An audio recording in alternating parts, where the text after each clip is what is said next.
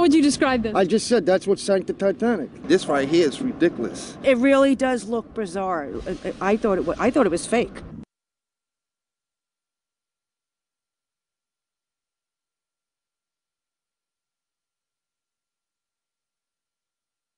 But I thought maybe uh, I would chip in and around the wheel well and, and see if I could get the, the tires free. But uh, yeah, I think I'm gonna need a sledgehammer.